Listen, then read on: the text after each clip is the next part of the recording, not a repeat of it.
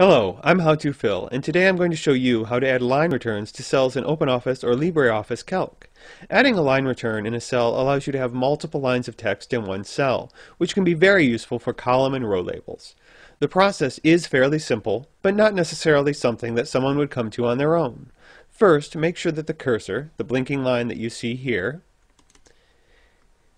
is located in the cell you'd like to add a line return to and not in the input field at the top of the screen. Once you are sure that you have the cursor in the correct location, key in your first line of text. Then press the Control key, and while still holding the Control key, press the Return or Enter key on your keyboard, and then release both keys. This will add a new line. You can now type in your next line of text in the cell.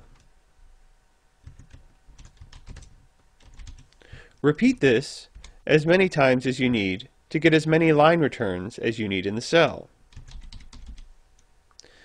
Once you are done, either hit the Enter key alone without holding down the Control key, or click into a different cell using your mouse.